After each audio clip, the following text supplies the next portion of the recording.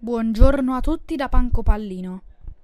In questo video ascolteremo gli ultimi 12 rintocchi del Big Ben che hanno risuonato il 21 agosto 2017 prima di un silenzio che durerà per 4 anni, dal 2017 fino al 2021. Questo perché? Perché il Big Ben devono restaurarlo.